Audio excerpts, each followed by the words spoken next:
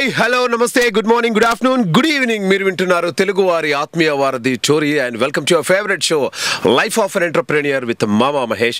మనం ఎప్పుడెప్పుడు అంటే ఎదురు చూస్తున్నటువంటి డాక్టర్ వరప్రసాద్ రెడ్డి గారు శాంత బయోటిక్స్ వ్యవస్థాపకులు ఎండి ఈరోజు మన టోరీ స్టూడియోకి రావడం జరిగింది.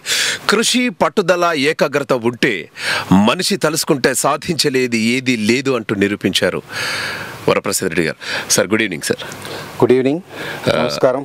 ఎస్ సార్ చాలా హ్యాపీగా ఉంది సార్ మిమ్మల్ని ఈ విధంగా చూడడం ఇక్కడ. నాకు హ్యాపీగానే ఉంది.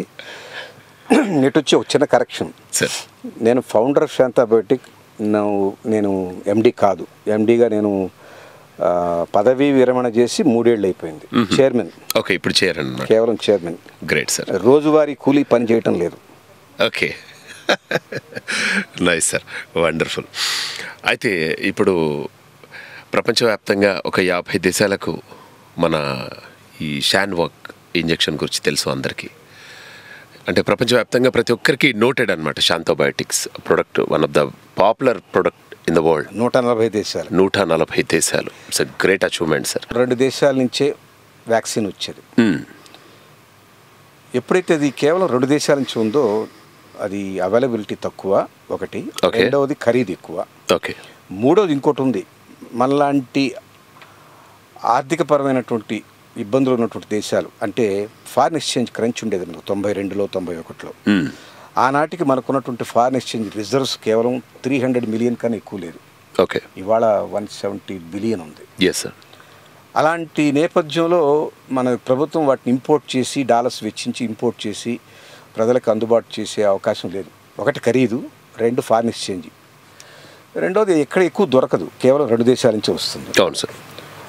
కానీ ప్రపంచ ఆరోగ్య సంస్థ డబ్ల్యూహెచ్ఓ అంటాం వరల్డ్ హెల్త్ ఆర్గనైజేషన్ యా వాళ్ళు కంగారు పడ్డారు.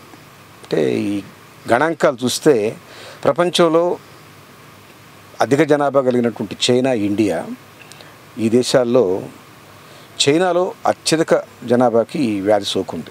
యాభై మిలియన్ల మనుషులకి.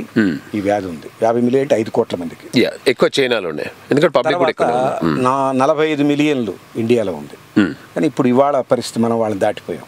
ఇది dubious distinction of crossing China sir ఇవాళ మనకి ఎక్కువ ఉంది. ఆనాటికి వాళ్ళకి ఎక్కువ మనకు తక్కువ. కానీ యాభై మిలియన్లు అనేది కొన్ని యూరోప్ దేశాల్లో వాటి జనాభా ఎంత?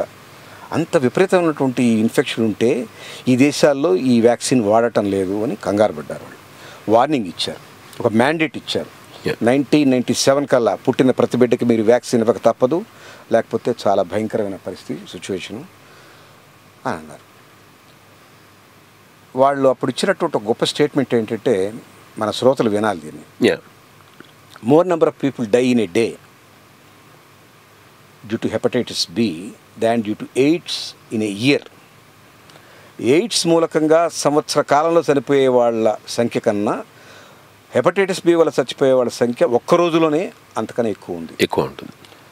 Very precarious situation very alarming yeah దాంతో మన ఇండియాకి ఇండియా లాంటి ఈ వ్యాక్సిన్ వాడనటువంటి కొన్ని నైబరింగ్ కంట్రీస్కి బంగ్లాదేశ్ పాకిస్తాన్ శ్రీలంక. ఆనాటికి కేవలం తొంభై దేశాల్లో మాత్రం ప్రతి పుట్టిన బిడ్డకి ఇచ్చేవాళ్ళు. మిగతా నూట ఇరవై దేశాలకి లేదు వ్యాక్సిన్.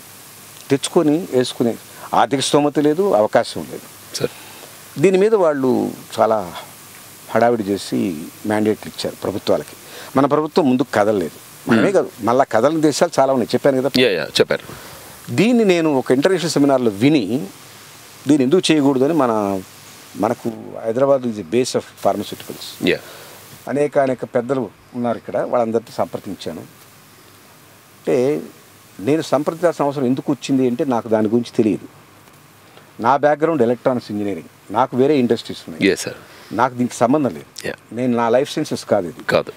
ఒక బాధ్యత కలిగిన పౌరుడిగా ఆ విషయం విన్నప్పుడు అందులో విన్న పరిస్థితి బాగలేదు. వాళ్ళు చాలా తూష్ణీ భావంతో చాలా తీవ్రమైన స్వరంతో వీళ్ళు బెగ్గర్స్ లాంటి వాళ్ళు they don't come with their own vaccine they come and bargain for subsidised vaccines they come with a begging bowl అన్న మాటలు విని బాధపడి ఇది ఎందుకు ఇట్లా మనం అనిపించుకోవాలి? ఒకనాటి భారతదేశంలో ఎంతో మేధస్సు ఉండేది. మనం అందరికీ విద్యను పంచాం విజ్ఞానాన్ని పంచాం ఆర్షధర్మాన్ని చెప్పాం. వేదవాంగ్మయాలు క్రియేట్ చేసినట్టు ఈ దేశానికి ఈ మేధస్సు లేకపోవడం ఏంటి? మనం ఎందుకు చేసుకోలేకున్నామని బాధపడి ఇక్కడున్న ఫార్మస్యూటికల్ వాళ్ళని బాంబేలో అహ్మదాబాద్లో వాళ్ళని సంప్రదిస్తే అది బయోటెక్ బేస్డ్ బాబు. బయోటెక్నాలజీ ఇంకా ఇండియాలో లేదు. అన్నటువంటి ఫీలింగ్లో ఉన్నారు. ఓకే. ఆనాటి నిజంగా బయోటెక్ పరంగా ఉన్నటువంటి కమర్షియల్ ప్రోడక్ట్స్ చేసేటటువంటి ఫార్మస్యూటికల్ ప్రోడక్ట్ చేసేటువంటి కంపెనీలు లేవు. సార్. బయోటెక్ ఆధారంగా చేసే బ్రెడ్ కంపెనీలు ఉన్నాయి బీర్ కంపెనీలు ఉన్నాయి కర్డ్ మేకింగ్ కంపెనీలు ఉన్నాయి. మ్మ్. వ్యాక్సిన్ చేసే కంపెనీలు లేవు. ఓకే. బయోటెక్ పరంగా. యా అవి చేయడం కష్టం మనకంత మేధస్సు లేదు అన్నటువంటి అభిప్రాయంలో ఈ ఈ ఫార్మస్యూటికల్లో దిగ్గజాలు లాంటి వాళ్ళు పెద్ద పెద్ద వాళ్ళు. శాన్ బ్యాక్సీలు రెడీ ల్యాబ్స్ Hmm. వాళ్ళెవరు ముందుకు జరగలేదు. నీకు దాని మీద తెలియదు కాబట్టి అతిగా అవుతున్నావు నువ్వు. ఇది ఇక్కడ చేసేది కాదన్నారు. ఓకే. నాకు ఎందుకో నేను ఒప్పుకోలేదు. Sir. మనం చేయొచ్చు దీన్ని అనుకున్నాను. ఎందుకంటే అప్పటికే ఓకే ఆ బయోటెక్ బేస్డ్ ప్రోడక్ట్ ఉన్నటువంటి కంపెనీ లేకపోవచ్చు కానీ బట్ బయోటెక్నాలజీలో మనకు కొన్ని ఇన్స్టిట్యూట్స్ ఉన్నాయి యూనివర్సిటీస్ ఉన్నాయి. మన. హైదరాబాద్లో సిసిఎంబి ఉంది. Centre for cellular and molecular biology. Sir గొప్ప ఇన్స్టిట్యూట్. ఎంతో బయోటెక్నాలజీ మీద ఎంతో రీసెర్చ్ చేసింది. ఎన్ఐఏ ఉంది ఢిల్లీలో నేషనల్ ఇన్స్టిట్యూట్ ఆఫ్ ఇమ్యూనాలజీ. వాళ్ళు చేయొచ్చు. ఎన్ఐవి ఉంది national institute of virology in Poona.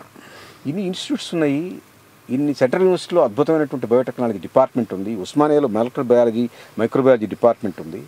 ఇక్కడ మేధస్సు లేకపోవడం ఏంటి అన్న ఆలోచన వచ్చి అంటే ఇప్పుడే ఒక విషయం చెప్పాలి. సార్ చెప్పండి. ఇగ్నరెన్స్ ఈజ్ బ్లిస్ వాళ్ళందరికీ ఫార్మసీ గురించి తెలుసు.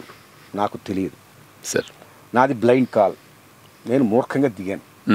ఇది చేయొచ్చు అని చెప్పి వాళ్ళ మాటలు నొప్పి కలిగించే మాటలతో ఇదేం విజన్తో చేసింది కాదు Shantha biotech. More than a vision it is provocation okay. దాంతో నేను తీసుకుంటే వాళ్ళు ఎవరు చేయనప్పుడు నేనే చేస్తాను దిగాను చేశాను. ఈ సక్సెస్ అనే మాట అనొద్దు చేశాను. చేసిన ఉద్దేశం ఏంటంటే నా సబ్జెక్ట్ కాకపోయినా మ్మ్. దానికి వనరులు లేకపోయినా ఆనాటికి ఎవరిని అనుసరించడానికి వీలైనటువంటి ప్రెసిడెన్స్ కావాలి కదా మనకు అన్నిటికీ. అలాంటి కంపెనీ లేకపోయినా ప్రభుత్వంలో విధి విధానాలు లేకపోయినా బయోటెక్నాలజీ ప్రోడక్ట్కి ప్రభుత్వంలో ఈ ప్రోడక్ట్ ఇది ఏం టూత్పేస్ట్ కాదు లేకపోతే ఒక సోపు కాదు అమ్ముకోవడానికి Yeah. ఇది ఒక pharmaceutical product which enters in body చిన్నపిల్లలు పుట్టగానే వేస్తారు Mm. అలాంటి ప్రోడక్ట్ని ఎన్నో రకాల పరి పరిశోధనలు చేసి దాని మీద టెస్ట్ చేసి దాని నిపుణతని దాని ఎఫిక్ ఎఫికసీని నిర్ధారించేటటువంటి ఒక సంస్థ drug control general of India. వాళ్ళు దీన్ని అప్రూవ్ చేయాలి. వాళ్ళు అప్రూవ్ చేయాలంటే దీనికి ఒక టెస్టింగ్ మెకానిజం ఉండాలి దీనికి ఒక ప్రోటోకాల్ ఉండాలి. దీన్ని ఎలా దీన్ని మనం యాక్సెప్ట్ చేయాలంటే ఒక విధి విధానం ఉంటుంది. కరెక్ట్. అది లేదు. సరే బయోటెక్నాలజీ బేస్డ్ ఇండస్ట్రీ నేను ఆర్ఎండి చేసి పెట్టాలి అని అంటే నాకు టెక్నాలజీ ఎవరు ఇవ్వలేదు. సార్. దీన్ని సొంతగా ఇక్కడ డెవలప్ చేయాలి ఇండిజినస్ డెవలప్ టెక్ టెక్నాలజీ. మరి టెక్నాలజీ లేదు. నేను టెక్నాలజీ డెవలప్ చేయాలి. టెక్నాలజీ డెవలప్మెంట్కి ఏ బ్యాంకు ముందుకు వచ్చి డబ్బు ఇవ్వలేదు. సార్. దేని ఏమైనా అనుసరిద్దామంటే అక్కడ కంపెనీలు లేవు. లేవు. అనుభవం ఉన్నటువంటి వ్యక్తులు తీసుకొచ్చి చేయించుకుందామంటే అలాంటి అనుభవం ఉన్న వాళ్ళు కూడా లేరు. బయోటెక్నాలజీ బేస్డ్ అనుభవం ఉన్నటువంటి ఫార్మసికల్ మనుషులే లేరు. లేరు సార్. అంతా కొత్తే. డబ్బు లేదు. అనుభవం లేదు ఒకరి కాపీ చేసే కంపెనీ లేదు. కంపెనీ లేదు. ఎలా కట్టాలో తెలియదు. ఓకే. గవర్నమెంట్లో దీన్ని అప్రూవ్ చేసే మెకానిజం లేదు. ఓకే. ఇన్ని ఆడ్ సిచ్యువేషన్స్లో కేవలం మూర్ఖపు పట్టుదల దీన్ని నడిపించింది ముందుకి ఉద్దేశం ఏంటంటే దీన్ని లోకల్ కరెన్సీలో చేయాలి మిగతా వ్యాక్సిన్లు ఏ ఖరీదులో ఉన్నాయో మన గవర్నమెంట్ అందరికీ పుట్టిన ప్రతి బిడ్డకు వ్యాక్సిన్ కొన్ని ఇస్తారు. దాని ఇమ్యూనియన్ షెడ్యూల్ ఉంది. DPT BCG MMR. ఈ వ్యాక్సిన్ ఇస్తున్నారు కదా ఆ రేట్లోనే కానీ మనం కానీ ఇస్తే ప్రభుత్వం దీన్ని దీన్ని కూడా వాళ్ళ ఇమ్యూనియన్ షెడ్యూల్లో పెట్టుకొని పుట్టిన ప్రతి బిడ్డకి ఇవ్వగలదు ప్రైమరీ హెల్త్ సెంటర్స్ ద్వారా ప్రతి దూర ప్రాంతాలను విలేజ్లో పుట్టిన ప్రతి బిడ్డకి ప్రైమరీ హెల్త్ సెంటర్స్ ద్వారా ఇవ్వచ్చు. అది ధ్యేయంగా పెట్టుకొని లక్ష్యంగా పెట్టుకొని ఇది మన లోకల్ కరెన్సీలో తయారు చేయగల రూపాయల్లో కరిగేటటువంటి మందుగా తక్కువ ఖరీదు మిగతా వ్యాక్సిన్లు ఏ ఖరీదులు ఉన్నాయంటే ఆ రోజు చూస్తే నలభై యాభై రూపాయలు ఉన్నాయి. ఇది కూడా యాభై రూపాయలు చేయాలనుకున్నాం. కానీ ఆనాటికి ఇంపోర్టెడ్ వ్యాక్సిన్ ఎనిమిది వందల రూపాయలు ఉండేది. ఏడు వందల ఎనభై ఎనిమిది వందల మంచి ఓకే. అంతలో ఉంది కాబట్టి ప్రభుత్వం కొనలేకపోయింది ఇవ్వలేకపోయింది. ఇది ఫ్రీగా ఇవ్వాల్సిన వ్యాక్సిన్. ఓకే. యాభై రూపాయలు చేస్తే ప్రభుత్వం ఇస్తుంది కానీ అంటుంటే ఒక ఆశ. ధ్యేయం. దాని కారణం చేశాను. చేసినందువల్ల ఇండియాలో ఇది ప్రతి ఒక్కరూ తీసుకున్నారు. ఓకే. ఇతర దేశాలకు సప్లై చేయాల్సిన అవసరం వచ్చింది. అప్పుడు యూనిసెఫ్ ద్వారా మేము సప్లై చేసాం డబ్ల్యూహెచ్ఓ వాళ్ళ అప్రూవల్ తీసుకొని అక్కడ వెళ్ళాం ఇది ఒక స్టాండర్డ్ మెయింటైన్ చేస్తేనే డబ్ల్యూహెచ్ఓ వాళ్ళు ప్రీ క్వాలిఫికేషన్ ఇస్తారు. సార్. ప్రీ క్వాలిఫికేషన్ ఉన్నప్పుడే మనం యూనిసెఫ్కి ఇవ్వగలం. యూనిసెఫ్కి ఇచ్చినప్పుడు యూనిసెఫ్ అన్ని దేశాలకి పంపిణీ చేస్తుంది. మాకంత శక్తి లేదు. మేము చిన్న కంపెనీగా ఇన్ని దేశాలకు పోయి మార్కెటింగ్ చేసుకునే అవకాశం లేదు. యూనిసెఫ్ మా దగ్గర కొని. ఎనభై దేశాలకు పంపిణీ చేస్తుంది. మా అంతటి మేము డైరెక్ట్గా నలభై యాభై దేశాలకు చేస్తాం. ఓకే. ఇన్ని చేసామే కానీ మీరు ఇందాక అన్నారు సక్సెస్ అని. సక్సెస్ కాలేదు అని ఎందుకు అంటున్నానంటే ప్రభుత్వం దీన్ని తీసుకొని వాళ్ళ ఇమ్యూనిట్ షెడ్యూల్లో పెట్టుకొని పుట్టిన ప్రతి బిడ్డకి ఇచ్చుండాలి తొంభై ఏడులో మేము తొంభై రెండులో ప్రారంభించిన ఈ కంపెనీ. తొంభై ఏడు నాటికి మనం వ్యాక్సిన్ తయారు చేసాం యాభై రూపాయలకే లాంచ్ చేసాం లాంచ్ చేసిన తర్వాత ప్రభుత్వం దీన్ని తీసుకొని ఇచ్చుండాలి కదా? ఇవ్వలే. ఓకే. ఇవ్వని కారణాలు? ఇప్పుడు మన శ్రోతలకు చెప్తే బాధపడతారు. ఓకే. అక్కడ ప్రభుత్వంలో ఉన్నటువంటి పెద్దలు ఆరోగ్య శాఖ మంత్రులు. వాళ్ళ అవసరాలు తీరిస్తేనే దీన్ని ఇన్వెంట్ షెడ్యూల్లో పెడతాను Oh. దానికి నేను ఒప్పుకోలేదు. కనుక మేము కేవలం ప్రైవేట్ మార్కెట్లోనే దీన్ని చేయగలిగాం. సార్. మాకు రీచ్ తక్కువ. మేము ప్రతి విలేజ్కి వెళ్ళి అమ్మగలిగేటటువంటి వర్క్ ఫోర్స్ మా దగ్గర లేదు. అందులో మాకు మార్జిన్స్ తక్కువ. ఎనిమిది రూపాయల వ్యాక్సిన్ యాభై రూపాయలకి ఇచ్చారంటే ఏముంటుందండి దాంట్లో? అంతేగా సార్. కనుక మాకు అందుబాటులో ఉన్నటువంటి మెట్రోపాలిటన్ సిటీస్లో ఇవ్వగలిగాం. సో పుట్టిన ప్రతి బిడ్డకి అందలేదు ఇది. కాకపోతే మేము చేసిన మంచి పని డబ్ల్యూహెచ్ఓ స్టాండర్డ్స్ కోసంగా మేము కృషి చేసి రెండేళ్ళు అవస్థపడి ఆ క్వాలిఫికేషన్ తెచ్చుకొని యూనిసెఫ్కి సప్లై చేసినందువల్ల బిడ్డ మన బిడ్డ ఒక బిడ్డే పరాయి దేశం బిడ్డన బిడ్డ ఎగ్జాక్ట్లీ సార్ వాళ్ళు కొన్ని మిలియన్స్ ఆఫ్ డోసెస్ మా దగ్గర కొని నూట ఎనభై దేశాలకి అది సక్సెస్ ఇక్కడ. మనం ఫెయిల్యూర్ ఎస్ సార్ మన పెరటి బిడ్డ వాడుకోలేకపోయాడు పరాయి బిడ్డ వాడుకున్నాడు. వాడుకున్నాడు. ఇది తొంభై ఏడు నుంచి మా ప్రోడక్ట్ అవైలబిలిటీ ఉంటే రెండు వేల పదకొండు వరకు ప్రభుత్వం సీతకన్ను వేసింది ఏ రకంగా ముందుకు జరగలేదు. దురదృష్టం. సార్ అందువల్ల శాంత సక్సెస్ స్టోరీ అంటే నేను ఫెయిల్యూర్ స్టోరీ ఎక్కువ చెప్తాను. మన మన ప్రభుత్వాలు మన ప్రభుత్వాలు రెండు వేల పదకొండు నుంచి మాత్రమే వాడడం మొదలెట్టినాయి ఇది దురదృష్టం. ఇలాంటి ప్రభుత్వాలు మనకు వద్దు. కొత్త ప్రభుత్వం కోరుకుంటూ తపస్సు. చేస్తున్నాం. చూద్దాం ఈసారి మ్యాండేట్ బాగా ఇచ్చారు. సంకేత. ప్రభుత్వాలు లేవు. మోడీ గారు. ఏకైక వీరుడిగా నిలిచారు. ఆయనైనా మంచి చేస్తారని ఆశిద్దాం. కరెక్ట్ సార్ కానీ నిజంగా మీరు చెప్తున్నటువంటి స్టోరీ చాలా అద్భుతం సార్ ఎవరికి అవగాహన లేనటువంటి ఒక ఫీల్డ్ అండ్ ఎవరు సపోర్ట్ చేయనటువంటి ఒక ఫీల్డ్ అట్ అందు అటువంటి వాటిలలో అందులో మీరు నిజంగా మీరు అనుకున్నటువంటి కోరిక నెరవేరింది. యాక్చువల్గా రీచ్ అని చెప్పేసి మనం మాట్లాడుతున్నాం. Respond research and reach me caption. So యాక్చువల్గా ఎంతవరకు రీచ్ అయిందని చెప్పేసి మీరు అనుకుంటున్నారు సార్? ఇప్పుడు చెప్తాను ఆనాటికి తొంభై రెండు నాటికి నేను రంగంలో దిగి ఏమిటి దీని మీద నేను బ్యాంకులకు వెళ్ళాలి కదా డబ్బు కోసం? అవునండి. ఇవ్వలేదనుకోండి. వెళ్ళినప్పుడు వాళ్ళు నాకు ఒక టెంప్లెట్ ఉంటుందండి వాళ్ళకి. నాకు ఇవ్వదలుచుకోలేదు. ఎందుకంటే ఆర్ఎండ్కి డబ్బు ఇవ్వరు. సార్ ప్రూవెన్ టెక్నాలజీకి అయితే డబ్బు ఇస్తానంటారు ప్రూవెన్ టెక్నాలజీ ఎక్కడి నుంచి వస్తుంది? పోయి అడిగితే అమెరికాలో ఈ టెక్నాలజీ గురించి. You are coming from India as poor country నిజమే. పూర్ కంట్రీ వాస్తవం అది. You don't need vaccine you have enough people దారుణం. అంటే మీకు ఎక్కువ మంది పిల్లలు ఉన్నారు. పోవచ్చు పోయినా తప్పు. దట్స్ వాట్ దుర్మార్గం. అవును సార్ దుర్మార్గం. హర్ట్ చాలా హర్ట్ అయ్యాను. సార్ ఇంకొకటి ఏంటంటే మీరు ఒకవేళ మేము టెక్నాలజీ ఇచ్చినా your scientist connect understand and observe this technology ఇది రీకాంబరెంట్ డిఎన్ఏ టెక్నాలజీ అన్నారు. దానితో చాలా బాధ కలిగి మనం డెవలప్ చేయొచ్చు Sir. చేసాం వచ్చింది. కానీ మన ప్రభుత్వాలు వాడుకోలేదే. కరెక్ట్ సార్ మీరు అన్నది. అది బాధ. డాక్టర్ వరప్రసాద్ రెడ్డి గారితో మీరు మాట్లాడాలి అనుకుంటే seven zero three eight seven nine double six double one call చేయండి యూకే నుండి అయితే double four one two two three double seven zero double six one India నుండి అయితే zero four zero triple six two four five one three call చేయండి. Hello hello మామ శేఖర్ మాట్లాడుతున్నానండి Maryland USA నుంచి. శేఖర్ గారు from Maryland USA yeah doctor Varaprasad Reddy గారితో మాట్లాడండి శేఖర్ గారు. నమస్తే రెడ్డి గారు. నమస్కారం అండి. నమస్తే సార్ నా పేరు శేఖర్ అండి నేను యూఎస్ఏలో ఫర్ పాస్ట్ ఫిఫ్టీన్ ఇయర్స్ ఇక్కడ ఉంటున్నాను first of all very happy to talk to you congratulations being a big entrepreneur in India special in the pharmaceutical and మీరు అంటే ఇప్పుడు హెపటైటిస్ డి గురించి మాట్లాడుతున్నారు. యాక్చువల్గా నేను recently read an interesting article అండి where in US for hepatitis treatment there is a medicine that is costing around fifty five thousand dollars the whole course ఇప్పుడు వచ్చింది So they were scratching their head how the Medicare can uh, meet the requirement. While at the same time they were quoting the prices from uh, different uh, countries like Egypt లో the medicine తయారు చేస్తే ఎంత అవుతుంది ఇండియాలో తయారు చేస్తే ఎంత అవుతుంది అన్నది అంటే ప్రాక్టికల్గా అంటే why mention mentioning is be USA లో కూడా even for a common man it's big problem sir actual given all these insurance restrictions and everything it's a very tough challenge so I the uh, I mean I have a little bit of bi- biology background. Uh, so that's లో కూడా చాలా ఇది ఉందండి. Uh, రెండోసారి ఇప్పుడు ఇప్పుడు ఈ బయోటెక్నాలజీలో you know that genetic engineering is progressing very well and target based medicine అన్నది it is becoming future so అంటే మీరు individual patient wise customisation medicine దీని గురించి. సో ఆ ఏరియాలో మీరు మీ కంపెనీ అన్న రీసెర్చ్ చేస్తున్నారు కదా సార్ మేమండి కేవలం వ్యాక్సిన్స్కే పరిమితం అయ్యాం. హెపటైటిస్ బి వ్యాక్సిన్ తర్వాత కొంతకాలం థెరపటిక్ ప్రోటీన్స్ కూడా చేసాం ఇంటర్ఫెరాన్ చేసాం ఎరిథ్రోపోయిటిన్ చేసాం స్టెప్టోకైనిస్ చేసాం ఆ తర్వాత మేము. వ్యాక్సిన్స్కే పరిమితం కావాలని ఒక పాలసీ డెసిషన్ తీసుకొని డిపిటీ చేసాం హిప్ చేసాం తర్వాత కాంబినేషన్ చేసాం హెపటైటిస్ బి హిబ్ కలిపాం hepatitis B DPT కలిపాం hepatitis B DPT and Hib మూడు కలిపాం. ఈ కాంబినేషన్ వ్యాక్సిన్స్ వల్ల కాస్ట్ తగ్గుతుంది పెయిన్ టు ది చైల్డ్ తగ్గుతుంది నెంబర్ ఆఫ్ పోక్స్ తగ్గిపోతాయి కదా? ఒక్కో వ్యాక్సిన్ మూడు సార్లు ఇవ్వాల్సి వస్తుంది. మనం ఆరు వ్యాక్సిన్లు ఇవ్వాలంటే ఆరు మూడు పద్దెనిమిది సార్లు ఇవ్వాలి. ఇన్స్టెడ్ మా వ్యాక్సిన్ మూడు సార్లు ఇస్తే సరిపోతుంది. దానివల్ల కాస్ట్ తగ్గిపోతుంది. పేరెంట్స్ మామూలుగా ఈ పిల్లలకి ఇచ్చే వ్యాక్సిన్స్. పేరెంట్స్ వాళ్ళ వర్క్ అవర్స్ మానుకొని లీవ్ పెట్టి డాక్టర్ దగ్గరికి తీసుకెళ్ళి చేయించడం ఆ రెజిమెన్ ఫాలో కావడం కన్ఫ్యూజింగ్. పద్దెనిమిది వ్యాక్సిన్లు విడివిడిగా ఉంటే. ఏది ఇప్పుడు వేయాలో నెక్స్ట్ ఇప్పుడు ఏది వేయాలో ఇది ఇది పెద్ద ఒక పుస్తకం పెట్టుకొని రాసుకోవాలి. ఈ గొడవ లేకుండా కాంబినేషన్ వ్యాక్సిన్ డెవలప్ చేసి చేసాం తర్వాత అన్నిటికన్నా ముఖ్యంగా మేము చేసింది కలరా వ్యాక్సిన్ ప్రపంచంలో ఏ దేశం టేకప్ చేయలేదు దీన్ని.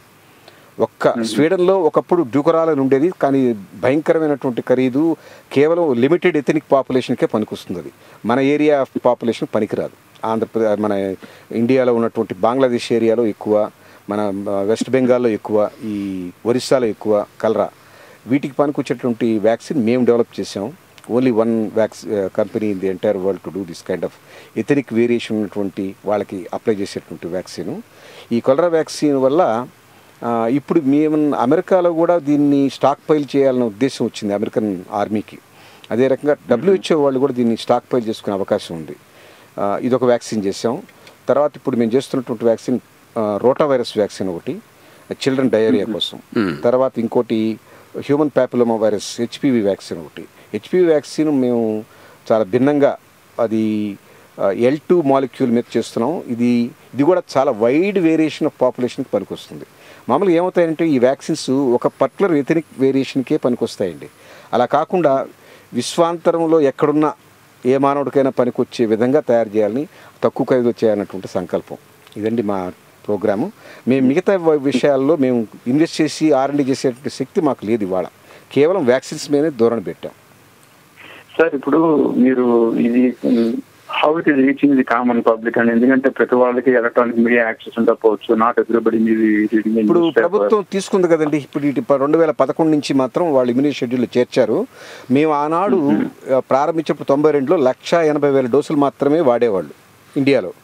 అంటే ఇంపోర్ట్ చేసి ఎనిమిది వందల రూపాయల లెక్కన ఇంపోర్ట్ చేసి. ఇప్పుడు దాని కన్జంప్షన్ ఇండియాలో నూట యాభై మిలియన్లు పదిహేను కోట్ల వ్యాక్సిన్లు ఎక్కడ లక్ష ఎనభై వేలు ఎక్కడ పదిహేను కోట్లు చెప్పండి. ఆ అవేర్నెస్ ఆ రకమైనటువంటి స్పృహ వచ్చింది ఎప్పుడంటే శాంతా వాళ్ళు వ్యాక్సిన్ తక్కువ ఖరీదులో చేసిన తర్వాతనే దాన్ని డబ్ల్యూహెచ్ఓ వాళ్ళు ప్రీ క్వాలిఫై చేసి ఇతర దేశాలకు ఎగుమతి చేసుకున్న తర్వాతనే అప్పుడు మన వాళ్ళు గుర్తించి ఓహో ఓహో మన దేశంలో కూడా ఉంది ఇది చాలా దేశాలకు వెళ్తుంది మనం వాడొచ్చు అని చెప్పిన నిర్ణయానికి వచ్చిన తర్వాతనే ఈ సంఖ్య గణనీయంగా పెరిగింది. వెయ్యి రెట్లు పెరిగింది వాడకం. వెళ్ళండి. యా చెప్పండి సార్ శేఖర్ గారు. ఇప్పుడు maybe it's dumb question like ఇప్పుడు NRIs మాలంటే NRIs suppose we are interested you being an entrepreneur మీరు ఇచ్చే అడ్వైజ్ అండ్ సపోజ్ ఈ ఫీల్డ్లో if you want get involve with literally no business background or whatever మీరు ఇచ్చే సలహా ఏంటి బిజినెస్ బ్యాక్గ్రౌండ్తో ఉన్న వాళ్ళు కొంతమంది ఉంటారండి. అందరూ బిజినెస్ బ్యాక్గ్రౌండ్తో పుట్టిన వాళ్ళు గారు. అందరూ అంబానీ కొడుకులే గారు. మేమంతా మా నాన్నగారు ఐదో క్లాస్ చదువుకున్నటువంటి గొప్ప మేధావి. అంతే. కానీ సంకల్పం అనేది ఉంటే సంకల్ప బలం. ఉంటే ఎవరైనా ఏదైనా చేయొచ్చు. నాది బ్యాక్గ్రౌండ్ ఎలక్ట్రానిక్స్ నేను చేసిందేమో ఫార్మస్యూటికల్ నాకేం బ్యాక్గ్రౌండ్ ఉందండి? సంకల్పం కొంచెం దృఢంగా ఉండాలి. తప్పనిసరిగా కొన్ని ఆటుపోట్లు ఉంటాయి. నాకు అనేక అనేక కష్టాలు ఎదురైనాయి. నాకు చెప్పి మీరు ఇందాక వినుంటారు. ఫండింగ్ లేదు. అప్పటికి ప్రిపేర్డ్నెస్ లేదు గవర్నమెంట్లో దానికి ప్రోటోకాల్స్ లేవు. How to test this product అని. ఇన్ని ఉన్నా కూడా చేశాం కదా. మీలాంటి వాళ్ళు ఆ అనుభవంలో ఉన్నవాళ్ళు అందులో మీరు బయలాజికల్ బ్యాక్గ్రౌండ్ ఉన్నవాళ్ళు వచ్చి ఏదైనా చేయొచ్చు కొంచెం కష్టాలు ఉంటాయి. ఒకటి గుర్తుపెట్టుకోండి master. Against wind only kite rises not with the wind against wind only right అండి. శేఖర్ గారు thank you very much sir hello hello hello నమస్తే నమస్తే అండి. ఎవరు మాట్లాడుతున్నారు? నమస్కారం అండి. నేను మాధవపి సురేష్ మాట్లాడుతున్నాను సార్ సురేష్ గారు ఇక్కడ ఉన్నారా మీరు? హైదరాబాద్ నుంచా? అవునండి హైదరాబాద్ నుంచి? సార్ గ్రేట్ సార్ ఎంత సడన్ సర్ప్రైజ్ సార్ మాట్లాడండి సార్ హ్యాపీగా మాట్లాడేసండి ఇక. ఏం లేదు మాకు నాకు చాలా ఆత్మీయ మిత్రులు ఇంటర్వ్యూ చేస్తుంటే ఆ, మాట్లాడదామని చెప్పి మాట్లాడాను. తర్వాత ముఖ్యంగా నేను చెప్పాల్సిన నాలుగు మాటలే. ఎక్కువ ప్లీజ్ సార్ చెప్పండి చెప్పండి చెప్పండి సురేష్ గారు. సురేష్ గారు మనం మాట్లాడుకోవచ్చు తర్వాత లేదు సార్ లేదు సార్. మీ ఇద్దరి మధ్యలో ఏముందో మాకు కూడా తెలియాలి కదా సార్ కొంచెం. ఏం లేదు మీరు ప్రశ్న వేయండి. ఏం చెప్పొద్దు ప్రశ్న వేయండి. అక్కడ కూర్చున్నాయనికి మాటలు ఇష్టం ఉండదు. మాకు చాలా తక్కువ అంటే కొద్ది ఏళ్ళ పరిచయంలో సార్ సార్ చెప్పండి. అత్యంత ఆత్మీయ మిత్రులుగా మా ఫ్యామిలీకి నేను చాలా గర్వంగా గొప్పగా చెప్పుకునే వ్యక్తి. అండ్ అన్నింటి మించి సహృదయుడు ఇప్పుడు లక్ష్మీదేవి సరస్వతిదేవి ఒక ఒక చోట ఉండదంటారు చాలా మంది. నేను ఈ విషయంలో ఒప్పుకోం అంతేకాకుండా ముఖ్యంగా నాకు అసలు ఒకసారి కొన్ని పాటలు ఇచ్చారు. నేను యాజ్ ఎ మ్యూజిక్ డైరెక్టర్గా మ్యూజిషియన్ నలభై ఐదేళ్ళలో అన్ని మంచి పాటలు నాకు ఎవరు ఇవ్వాల. అన్ని అద్భుతమైన సిడీస్ అంటే దానికి అభినందనతో వరప్రసాద్ అని పెట్టి ఇస్తారన్న. అందరికి ఇస్తారన్న. నాకు ఇచ్చిన చాలా పదినంగా పెట్టున్నాను. అంతేకాకుండా ఇటీవల ఒక మంచి ఆల్బమ్ చేయించారు. ఎంత మంచి ఆల్బమ్ ఆల్బమ్ చేయించడం ఒక ఎత్తు. దాని రిలీజ్ ఫంక్షన్ అనేది జీవితంలో మర్చిపోయిన విధంగా చేశారు అది. అది సో ఇలా చెప్పుకుంటూ పోతే ఒక ఎపిసోడ్ ప్రసాద్ రెడ్డి గారి గురించి మాట్లాడుకోవచ్చు. బట్ చాలా real I love him and these are the words I'm telling from bottom of my heart wonderful sir wonderful thank you Suresh గారు థ్యాంక్ యూ. నాకు ఎక్కడ లేని ఆనందాన్ని కలిగించారు శ్రీనివాస్. ఆనందం సార్? మీకు మీరు మాకు కలిగించిన కుటుంబంలో ఆరోగ్యం ఆరోగ్యమైనటువంటి మీరు ఆనందం ఇస్తారు ఇప్పుడు. ప్రపంచానికే ఆరోగ్యాన్ని ఇచ్చారు సార్ సార్. ఆయన ఆయన ఆరోగ్యం ఇస్తారు మాటతో ఇస్తారు. పాటతో ఇస్తారు. అది అది వచ్చి గొడవ మాకు. గ్రేట్ జెంట్లమన్ అండి ఇది Yes, గ్రేట్. జెంట్లమన్. నాకు ఆత్మీయ మిత్రుడిని చెప్పడానికి చాలా గర్వపడుతున్నాను సార్ మీరు చేసింది ఏంటి సార్ శ్రీనివాస కళ్యాణమా? అవునండి శ్రీనివాస్ కళ్యాణ్ చేశాను సార్ సార్ అన్ని పాటలు అనమాట పాటలు. చాలా బాగా వచ్చినాయండి అది చాలా మంది ఎంజాయ్ చేస్తున్నారు. పుణ్యం మీదే. అయ్యో అయ్యో సార్ ప్రొడ్యూసర్ లేకుండా సినిమా ఫీల్డ్ లేదు సార్. సార్ అది ఒక ఎత్తే మీ ప్రతిభ. నాకు అవకాశం కరెక్ట్ అద్భుతం. పైగా ఒక అంతేకాదు ఇంకొక ఒకే ఒక్క విషయం. వారిని అందరూ బ్రహ్మాండంగా చూసుకుంటారు సార్. నిజంగా. కానీ పెళ్ళయిన తర్వాత పిల్లలు వాళ్ళ పిల్లలు పుట్టినా కూడా తల్లిని అద్భుతంగా చూసుకుని అతి కొద్ది మంది అతి కొద్ది మంది వ్యక్తుల్లో ఈజ్ నెంబర్ వన్ అది అది మాత్రం నాకు చాలా చాలా ఇష్టం. అమ్మగారి పేరే శాంత బయోటిక్స్ అని చెప్పేసి పేరు పెట్టడం జరిగింది వాళ్ళ అమ్మగారి పేరు. అందుకనే ఆయన శాంత గారి పేరులో ఉంది ఇటు వసంత్ గారి పేరులో ఉంది. ఇద్దరికి సమన్యాయం న్యాయం చేకూర్చాడు. Real and he's hang very good taste అండి వెరీ గుడ్ టేస్ట్ అదే మాకు నేను చాలా హ్యాపీ ఫీల్ అవుతున్నాను. నాలుగు ముక్కలు ఆయన గురించి మాట్లాడటం అనేది నేను ఎదురుగుండా ఉంటే మాట్లాడిన కూడా. అది పరోక్షంగా థ్యాంక్ యూ అండి. మాధవ పెద్ద సురేష్ గారు. ధన్యవాదాలు సార్ నిజంగా. చాలా బాగా. అయ్యా Thank you, నమస్కారం. థ్యాంక్ యూ ఇది ఇప్పుడు ఇది okay. Shantha biotics and everything. మీకు జనరల్గా మీ హాబీస్ ఏంటో తెలుసుకోవచ్చా సార్ హాబీస్ అనే పేరుతో నాకేమి లేవండి. అంటే సంగీత పరంగా కానీ అది హాబీ. సాహిత్య పరంగా కానీ కాదు హాబీ కాదు అది. నాకు హాబీలు ఏమి లేవు. నాకు ఇష్టాలు ఉన్నాయి okay. Hobby is not equal to ఇష్టం. ఇష్టం. అది వేరు ఇది వేరు. ఎస్ సార్ నాకు ప్యాషన్ ఏంటంటే మ్యూజిక్ లిటరేచర్ మంచి సాహిత్యం చదువుకోవాలి ఉంటుంది మంచి సాహిత్యం అంటే నా లెక్కలో ఏదో విప్లవాత్మకమైనటువంటి ఇదే కాదు అంటే సమాజం గురించి వరి అయ్యేటువంటి చాలా ఉంటాయి. ఓకే ఈ వామపక్ష భావాలతో నేను పెరిగిందే ఆ ఇంటింట్లో సార్ అవి కాదు అవి చదువుతాను కానీ నాకు ఇష్టమైనటువంటి ఏంటంటే మంచి హాస్య రచనలు. ముళ్ళపూడి. వెంకటరమణ గారు రచనలు అంటే ప్రాణం. ఓకే ఆయన పుస్తకాలు కూడా మేము వేసాం కోతి కొమ్మచ్చి ఇవన్నీ. నాకు మంచి సాహిత్యం అంటే ఆహ్లాదంగా ఒక మంచి మానవత్వ పరిమళం వెదజల్లేటువంటి పాత్రలు ఉన్నటువంటి సజీవమైనటువంటి మన నిత్యం జీవితంలో చూసేటువంటి పాత్రలు ఆ కథాగమనంలో కానీ ఉంటే నాకు చాలా ఇష్టం. తర్వాత మ్యూజిక్ నాకు చాలా ఇష్టం. నేను కొంతకాలం ప్రాక్టీస్ కూడా చేశాను వీణ. కానీ కొనసాగించలేకపోయాను. కానీ నాకు అభిరుచి ఉంది కాబట్టి బోర్డ్ అంత కలెక్ట్ చేసుకున్నాను కొంత క్రియేట్ చేయించుకున్నాను. మహానుభావులు మాధవపతి సురేష్ లాంటి వాళ్ళు నాగరాజు గారు ఫ్లూటిస్ట్. ఆయన ద్వారా. పార్దు. వీళ్ళందరి చేత నేను మ్యూజిక్ చేయించుకున్నా వాసురావు గారి చేత. నాకు కావాల్సిన పాటలు వాటికి అది పాటలతో చేయించినవి ఉన్నాయి. కృష్ణమోహన్ కలగా కృష్ణమోహన్. వారు రాసి పబ్లిష్ చేసిన పుస్తకం sorry to interrupt sir. Hello నమస్తే అండి.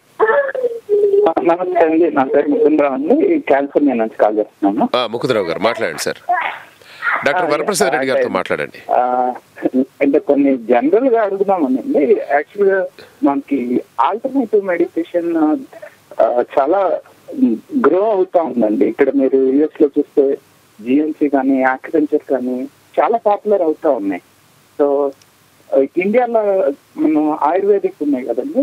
ఉన్నాయి. After we lost patent on basmati and turmeric government release అయ్యి ఆల్మోస్ట్ లైక్ కరెక్ట్ రెండు లక్షల పేటెంట్లు ఫైల్ చేస్తుందండి ఇండియన్ గవర్నమెంట్. దాన్ని ఇండస్ట్రీ ఎందుకు అబ్జర్వ్ చేయట్లేదండి? దాన్ని ప్రొడక్షన్ చేసి so if you looking to that like Ranbaxy కానీ సన్ ఫార్మా ఇలాంటివన్నీ ఫార్మసిటికల్ డాబుర్ చేస్తున్నారండి డాబుర్స్ చేస్తున్నారే. వాళ్ళు ఇప్పుడు ర్యాన్ లాంటి వాళ్ళు వాళ్ళకున్నటువంటి కెమికల్ కాంపౌండ్స్ చేసి చేస్తున్నారు. ఈ ఈ రకమైన మీరు చెప్పిన ఆల్టర్నేటివ్ మెడిసిన్కి సంబంధించినటువంటి కొన్ని పరిశ్రమలు ఉన్నాయండి. డాబూర్ అని ఒకటి ఉంది హిమాలయన్ ప్రోడక్ట్స్ ఉంది. వాళ్ళతో చేస్తున్నారు. బట్ ఇండస్ట్రీ అంత ఫాస్ట్గా దాన్ని అడాప్ట్ చేసుకోవట్లేదని చేశారు చేశారండి. కానీ ప్రజలే తీసుకోవట్లేదు. మీరు గమనించాలి. డాబూర్ ఉత్పత్తి చేస్తుంది హిమాలయన్ ప్రోడక్ట్స్ వాళ్ళు ఉత్పత్తి చేస్తున్నారు. ఎక్కడ వాళ్ళు కొని వాడకం చేయకపోతే వాళ్ళు ఏం చేయగలరు? ప్రభుత్వం మాత్రం ఏం చేయగలరు ప్రభుత్వం చేయాల్సిన సహకారం చేసింది కానీ ప్రజల్లోని ఆ నమ్మకం ఆ విశ్వాసం అవి రావట్లేదు. ఆల్టర్నేటివ్ మెడిసిన్కి వెళ్ళేవాళ్ళు కొద్దిమందే జనాభాలో ఒక శాతం రెండు శాతం ఉన్నారు. అంటే మంచి విషయం చెప్తూ ఉన్నారు సార్ యాక్చువల్గా నేను మధ్యలో ఇంటరప్ట్ అయ్యాను. I'm sorry for that? అయితే మనం సంగీతం గురించి మనం మాట్లాడుతున్నాం. వాసురావు గారు చర్చించుకున్నాను క- కలగక్షమోహన్ గారు రాసి ఆ నోట ఆ నోట అని పాటలు రాసి పెట్టుంటే అది చదివి నాకు బాగా నచ్చి దాన్ని ట్యూన్ చేయించి రికార్డుగా చేశాను. నేను క్రియేట్ చేసినటువంటి మ్యూజిక్ కూడా సుమారుగా ఒక వంద గంటలకు ఉంటుంది. అవన్నీ నేను అందరికీ పంచాను. చాలామందికి నేను ఎవరికి greeting card పంపించను. Happy new year happy Dasara నాకు అలవాటే లేదు. వాళ్ళకు రెండు సీడీలు పంపించడం నేను పంపించిన గ్రీటింగ్ చూసుకుంటాడు డస్ట్బిన్లో వేస్తాడు. దాచిపెట్టుకోలేడు కదా. అదే నేను ఒక సీడీ పంపిస్తే పదే పదే వింటాడు ఇష్టపడతాడు ఇంకో సీడీ చేసావని అడుగుతాడు will be in touch with me yes sir అది నా పద్ధతి ఏంటంటే నాకు నచ్చినటువంటి మంచి పుస్తకం మంచి సీడీయో తయారు చేసి మా నాన్నగారి స్మృతి దినం సందర్భంగా ఇస్తాను. మాతృవందనం కార్యక్రమం చేస్తాను నేను. ఆ మాతృవందనం టైంలో కొంతమంది తల్లులను తీసుకొచ్చి సత్కరిస్తాం. అది మా అమ్మ పేరుతో చేస్తాం అన్నమాట. ఓకే. అది నిజానికి నా బర్త్డే నేను ఎవరికి చెప్పను. జన్మదినం కన్నా జన్మనిచ్చిన దినంగా చేస్తే జన్మనిచ్చిన ఆమె- ఆ రోజు ఆమెది కార్యం మనది కాదు. అద్భుతం. ఆటోమేటిక్గా. నిజంగా ఎంత మంచి ఆమె కష్టం ఆమెది నొప్పి ఆమెది పునర్జన్మ ఆమెకి. ఆ రోజు మాతృవందనం చేస్తే మంచిదని చేస్తున్నాం. గత పదేళ్ళుగా చేస్తున్నాం. ఆ టైంలో కూడా ఈ సీడీలు ఈ పుస్తకాలు అన్ని పంచుతాను హాసన్ తరఫున మేము చాలా మ్యాగజైన్స్ వచ్చినాయి. డెబ్బై మ్యాగజైన్స్ అదే అడగాలనుకున్నాను అది మధ్యలో ఆగిపోయింది. అది వైబుల్ కాదు. అది అది పక్షపత్రిక కన్నా కూడా పుస్తకం వేస్తేనే దానికి షెల్ఫ్ లైఫ్ ఉంటుంది. ఎవరైనా లైబ్రరీలో దాచుకుంటారు. ఇది ఎవరు? మాసపత్రిక అని చెప్పేసి? మాసపత్రిక పక్షపత్రిక. పదిహేను హాసం. సార్, హాసం ఎస్ సార్? పక్షపత్రిక. సరే ఇప్పుడు కేవలం పుస్తకాలు వస్తున్నాయి. మేము సుమారుగా ముప్పై రెండు పుస్తకాలు వేసాం ఇప్పటికి. అవును సార్. చదివాను. సార్. చాలా అద్భుతమైనటువంటి పుస్తకాలు. వసర కొమ్మొచ్చని రాబోతుంది మురళిపూడి వెంకటరమణ గారి మిస్సెస్ ఆమె శ్రీదేవి గారు రాసిన పుస్తకం. ఆయన మధ్య మధ్యలో ఆయన ఆగిపోయి చనిపోయారు. దానికి కొనసాగింపుగా మురళిపూడి రమణ గారి మిస్సెస్ సార్. శ్రీదేవి గారు రాస్తున్నారు దాన్ని వేస్తున్నాం. సో సాహిత్యం సంగీతం అవి నాకు ఇష్టం. నా హాబీ హాబీస్ కావు. ఓకే అంటే ఇష్టం వేరు టికెట్ టెన్నిస్ అంటారు నాకు ఏమీ లేదు? మార్నింగ్ నడుస్తాను మ్మ్. యోగా చేసుకుంటాను ఎక్సర్సైజ్ చేసుకుంటాను. ఇంతకన్నా నాకు అవి ఈ హాబీ అంటారో లేకపోతే అది అది డ్యూటీగా చేస్తాను ఓకే అంతే. అంతకుమించి నాకు వేరే హాబీస్ ఏమీ లేవు. ఇంకొక కాలర్తో మాట్లాడే ప్రయత్నం చేద్దాం. హలో హలో మామ నేను అరుణాని పిట్స్బర్గ్ నుంచి. బాగున్నారా? అరుణ గారు మాట్లాడండి. డాక్టర్ వరప్రసాద్ రెడ్డి మాట్లాడండి. అదే వింటున్నాను. నమస్కారం అండి వరప్రసాద్ రెడ్డి గారు. అమ్మా నమస్కారం. యా నేను చాలా సార్లు మిమ్మల్ని మోహన్ బాబు గారి celebrations birthday celebrations and audio ఫంక్షన్స్లో చాలా సార్లు మిమ్మల్ని నేను చూశాను. నాకు మీరు ఎవరో అంత బాగా తెలియదు అనమాట అంటే మీరు మోహన్ బాబు గారికి బాగా క్లోజ్ ఫ్రెండ్ అని మటుకు మాత్రం నాకు తెలుసు. కానీ ఈ రోజు టోరీకి వచ్చి మీరు ఏంటి అనేది మాకు బాగా తెలిసింది. నిజంగా అసలు కాల్ చేయకుండా you are really nice person to know. మీలాంటి వాళ్ళు మంచి మంచి వాళ్ళని మా టోరీకి తీసుకొచ్చి మాకు పరిచయం చేస్తున్నందుకు మేము టోరీకి ఎప్పుడు ధన్యవాదాలు చెప్తూనే ఉంటాము. చాలా మంచి పనులు చేస్తున్నారు సార్ మీరు. థ్యాంక్స్ అమ్మా. నేను మోహన్ బాబు గారి ఎడ్యుకేషన్ ఇన్స్టిట్యూట్స్ ఉన్నాయి తిరుపతిలో. చాలా గొప్పగా చేశారు ఆయన. ఆయన నటుడుగా. కన్నా కూడా ఆయన విద్యకు సంబంధించినటువంటి ఆయన చేసే సేవ చాలా అద్భుతం. ఆ స్కూల్స్ ఆ కాలేజెస్ వాటికున్న ఇన్ఫ్రాస్ట్రక్చరు చాలా విశేషంగా చేశారు ఆయన. దాంట్లో నేను గవర్నింగ్ బోర్డ్. మెంబర్ని ఆయన ఎప్పుడు. వాటి యాన్యువల్ డే ఎప్పుడు వచ్చి ఆయన మార్చి పద్దెనిమిది తన బర్త్డే నాడు చేస్తారు. ఆ సందర్భంగా మొన్న కూడా చూసానండి అందువల్ల. ఏంటంటే ఆ రోజు ఆ ఫౌండేషన్ డే రోజు వెళ్తాను కాబట్టి మీకు కనిపిస్తాను ఆ టీవీలో వాటిలో. అవునండి. ఆడియో ఫంక్షన్స్లో కూడా అప్పుడప్పుడు కనిపిస్తారు. చూసాను కానీ ఆడియో. ఫంక్షన్స్లో వచ్చే మ్యూజిక్ నాకు ఇష్టం ఉండదు. ఆయనకు మొహమేనే చెప్తాను నేను ఈ పాటలు నాకు ఇష్టం ఉండవు అని. యా ఆయన ఎందుకు నచ్చుతారంటే నాకు చాలా చాలా అభిమానం అండి. ఈ సందర్భంగా ఎలాగో మోహన్ బాబు గారిని గుర్తు చేసుకున్నాం కాబట్టి మీకు ఎంత సన్నిహిత మిత్రులో మాకు వ్యక్తిగతంగా కలవకపోయినా మాకు ఆయన అంతే నాకు ఎస్పెషల్లీ ఆయన అంతే సన్నిహితంగా అనుకుంటా నేను. ఎందుకంటే ఆయన ఏది అంటే ఆయన ఒక క్రిస్టల్ క్లియర్గా ఉంటారు. అరుణ గారు, ఆయన బోళా బళా మనిషి అమ్మ చాలా మంచివాడు. యా ముక్కుసూటి ముక్కుసూటి మనిషి. ఆయన ఏవి దాచుకోడు దాచుకోలేడు. అవును. ఆయన కానీ మిమ్మల్ని చూస్తే కూడా చాలానే అనిపిస్తుంది సార్ ముక్కుసూటిగా మాట్లాడతారు ముక్కుసూటే నేను నేను ప్రభుత్వం యుద్ధం చేసిన వాడిని. అందువల్ల నాకు ఏం భయం లేదు. కాబట్టి మాకు కలిసింది ఇద్దరికి. అవును సార్ నేను అలాంటి వాళ్ళకి ఎప్పుడు జయమే ఉంటుందండి. అది మాత్రం నేను బాగా నమ్ముతాను. లైఫ్లో ఎప్పుడు వాళ్ళకి అరుణ. కష్టాలున్నా గానీ వాళ్ళు ధైర్యంగా ఎదుర్కోగలుగుతారు. ఆత్మస్థైర్యం ఉంటుంది. నిజాయితీ ఉన్నప్పుడే నేను అదే చెప్పాలనుకున్నాను.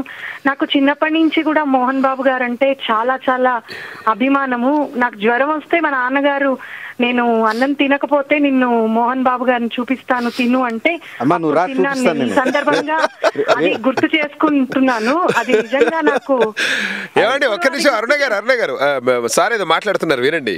ఆయన రేపు చెప్తాను. రేపు మాకు గవర్నింగ్ బోర్డు మీటింగ్ ఉంది. తిరుపతిలో రేపు ఉదయం వెళ్తున్నాను నేను. ఆ, అవునా? ఆ, మీ పిట్స్బర్గ్ నుంచి అరుణ అనే అమ్మాయి మీ అభిమాని చాలా నా ప్రోగ్రామ్లో నీ గురించే మాట్లాడింది అయ్యా బాబు అని చెప్తాను. Right right right thank you అండి అరుణ గారు. ఇంకోటండి దారి చూపిన దేవత సాంగ్ నా లైఫ్లో అది అది రియల్లీ అది నా లైఫ్లోనే నేను మర్చిపోలేను అనమాట నేను అంటే అది అది అంతగా అంతగా టచ్ చేశారు. ఆ మూవీలో ఆయన నిజంగా తన గొంతుతో పాడినట్టే ఉంది. యేసుదాస్ గారు పాడినట్టు లేదు. ఇంకా చాలా చెప్పాలని ఉంది వరప్రసాద్ గారు మోహన్ బాబు గురించి కానీ. యా ఒక్కటి ఇంకొకటి మామ. ఆయనతో మాట్లాడలేకపోయినా ఆయన కొడుకు మనోజ్తో మాట్లాడే అవకాశం దొరికింది నాకు. టోరీలో అది కూడా వరప్రసాద్ గారికి చెప్దాం అనుకున్నాను. సరే అమ్మా తప్పకుండా వాళ్ళకి గుర్తు చేస్తాను. ఓకే రైట్ అండి And, thank you very uh, much madam yeah me family అందరికి మా నమస్కారాలు చెప్పండి తప్పకుండా తల్లి తప్పకుండా and all the best and thank you so much మామ. Yeah yeah thank you very much madam thank you yes అంటే ఇలా ఉంటుందన్నమాట. వాళ్ళ అభిమానం ఆ విధంగా తెలియజేస్తారు సరే చివరిగా ఒకటి. ఆ, ఇప్పుడు మీకు అవగాహన లేనటువంటి ఒక సబ్జెక్టు. దాన్ని తీసుకొని పోరాడి కష్టపడి ఎన్నో అవమానాలు. ఈ ఎవరి దగ్గరికి వెళ్ళినా కూడా సపోర్ట్ లేదు. ఆయన కూడా వాళ్ళ నమ్మకంతో సపోర్ట్ చేశారు మీకు. అంటే ఒక మనిషి నిజంగా సక్సెస్ అంటే మనం చదువుకున్న చదువు వేరు చేసే ఉద్యోగం వేరు ఈ రోజుల్లో. అవును. అంతే కదా సార్? సో ఎవరైనా కూడా ఒక సక్సెస్ సాధించాలి అంటే ఇది మన చదువు ఎంతవరకు ఉపయోగపడుతుంది సార్? చదువు అనేది కేవలం ఒక ఫౌండేషన్ అండి. సార్. అది భూమిలో ఉంటుంది కనపడదు. ఒక మనిషిని ఒక సందర్భానికి ప్రిపేర్ చేస్తుంది. వ్యవహరించడానికి ఒక ఒక ఒక శక్తిని ఇస్తుంది నేను మీతో ఇవాళ కూర్చొని మాట్లాడగలుగుతున్నానంటే నేను ఈ మీకు చెప్పదలుచుకున్న భావ వ్యక్తీకరణకి నాకు ఉన్నటువంటి భాషా సంపద. సార్. అది నేను తెలుగు చదువుకుంటేనే వచ్చింది. అక్షరాలు నేర్చుకుంటేనే వచ్చింది. ఊరికే రాదు కదా? యూర్ రైట్ అందువల్ల ఏ సబ్జెక్ట్ అయినా కూడా ముందు బేసిక్ ఫౌండేషన్ అనేది ఉండాలి. తర్వాత మీ కామన్ సెన్స్. యా అంతే. ఇప్పుడు ఎవరు కూడా ఇప్పుడు ఆర్కిమిడిస్ ప్రిన్సిపల్ చదువుకున్నాం బీఎస్సీలో ఎక్కడ వాడామా లేదండి లేదు వాడలేదు. వాడలేదు హెచ్ రెండు ఆటమ్స్ ఆఫ్ ఆక్సిజన్ ఒక ఆటమ్ ఆఫ్ హైడ్రోజన్ కలిపితే హెచ్ టూ అని దాని అన్నారు. అది ఎక్కడ వాడామా అవసరం. వచ్చిందా. ఎందుకు చెప్తారు అవన్నీ అంటే. మీ మానసిక పరిధిని పెంచడానికి పెంచడానికి. మీకు ఒక ఫౌండేషన్ ఏర్పాటు చేయడానికి ఒక ఒక నమ్మకం కలగడానికి నేను ఆయమని సైంటిఫిక్ ఫుటింగ్ అని అనుకోవడానికి. సో అవన్నీ సై అవన్నీ ఫౌండేషన్గానే భావించాలి. దాని ద్వారా మీకు ఆలోచన పరిధి పెరిగి మీకు ఒక లాజిక్ అనేది ఒక ఒక ఒక ఒక విషయం గురించి సమగ్రంగా ఆలోచించే శక్తిని అవగాహనని ఏర్పరచడానికి పనికొస్తుంది మిగతా ఎంత కామన్ సెన్స్ ఓకే. సో ఏదైనా కూడా సాధించాలి అంటే ముందుగా ఆ రోజుల్లో స్టీల్ ఇండస్ట్రీ పెట్టారు. సార్. వాళ్ళు మెటలజిస్ట్లా?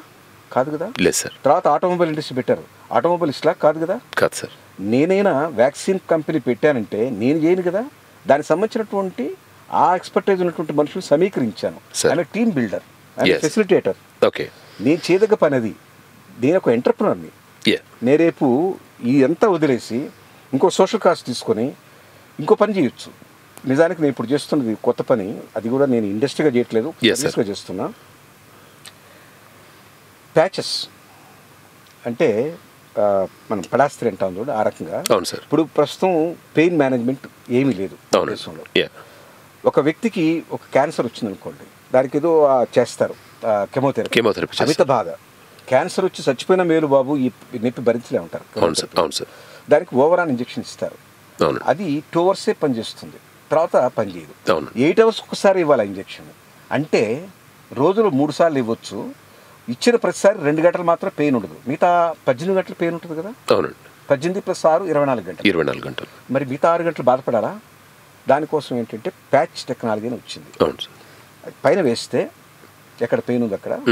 ట్వంటీ ఫోర్ అవర్స్ మీకు నొప్పి లేకుండా పెట్టి పెడుతుంది. ఓకే ట్రాన్స్డర్మల్ ప్యాచెస్ అంటారు. అవి ఈ దేశాల నుంచి దిగుమతి చేసుకుంటారు. అది ఆ ఖరీదు విపరీతం. Mhm. ఎనిమిది వందల రూపాయలు ఒక ప్యాచ్ ఓకే పెట్టుకోలేరు. దాన్ని మేము ఇక్కడ తయారు చేస్తే మంచిదని ఒక ఆయన్ని ప్రోత్సహించి ఆయనకి అన్ని ఏర్పాటు చేసి చేయించాను. ఒక అమెరికన్ నుంచి వచ్చినటువంటి. భారతీయుడే. ఆయన ఎప్పుడూ అక్కడ సెటిల్ అయిన వాడు. ఆయన లాక్కొచ్చి చేయించాం. సార్ వంద రూపాయలకి దొరుకుతుంది వాళ్ళ ప్యాచ్ వండర్ఫుల్ సార్ వండర్ఫుల్ ఈ రకమైనటువంటి ఆలోచన చేస్తే ఇన్నోవేషన్స్ ఎన్నో ఉన్నాయి. ఇంకోటి సార్ ఇప్పుడు మనం ప్రతి ఒక్కరికి ఇప్పుడు వాళ్ళ ప్రతి మూడో వాడికి షుగర్ పేషెంట్ అయిపోయాడు. డయాబెటీస్ ఎక్కువ అయిపోయింది India has become capital of diabetes ప్రతిసారి వాళ్ళు చెక్ చేసుకుంటారు డాక్టర్లు. ప్రతిసారి పోక్ చేసుకుంటాం. ఒకసారి డాక్టర్లు ఉదయం మధ్యాహ్నం సాయంకాలం చూడంటారు అవును. పొడుచుకొని చూసుకోవాలి. చాలా మంది చూసుకోరు. ఆ నొప్పికి. ఇప్పుడు సెలవుతో చెక్ చేసే అవకాశం అట్లాంటి డెవలప్మెంట్ వచ్చింది. ఓకే. దాన్ని ఇండియాలో ప్రారంభించాలని పెద్ద ఆలోచన చేస్తున్నాం. ఇవన్నీ ఆ వ్యాపారాలు కానే కావు. ఒక కొత్త టెక్నాలజీ కొత్త సర్వీస్. తీసుకొచ్చి ప్రజలకు టెక్నాలజీ ద్వారా ప్రజలకి ఒక వెసులుబాటు కల్పించడం. కరెక్ట్ సార్ వాళ్ళ ఎంటర్ప్రెస్ వేరే ఉన్నారు. వాళ్ళని తీసుకొచ్చి వాళ్ళకి ఒక సయోధ్య చేసి ధైర్యం చెప్పి భుజం పెట్టి హ్యాండ్ హోల్డింగ్ చేసి తీసుకొచ్చి చేయించడమే నేను చేసే పని వాళ్ళు. సార్ వండర్ఫుల్ సార్ సార్ చివరిగా ఒక కాలర్తో మాట్లాడదాం. హలో నమస్తే అండి. ప్రభాకర్ యా ప్రభాకర్ గారు మాట్లాడండి సార్ అదే ఈయన జీవితం చాలా ఇంకా భగవంతుడు ఇతనికి ఇంకా మంచి శక్తిని ఇచ్చి ఆరోగ్యాన్ని ఇచ్చి ఆయురారోగ్యాలు ఇచ్చి ఇంకా చేయాలని కోరుకుంటున్నాను. ఇంకొక విషయం ఏంటంటే ఈయన జీవితంలో నీకు కొన్ని కష్టాలు చేశారు అంటే గవర్నమెంట్ అని వాడుతుంది అటువంటి కష్టాలకి మూల కారణం ఏంటో చూసుకుని దానికి మనం ఏమైనా ఎడ్యుకేట్ చేయగలమా?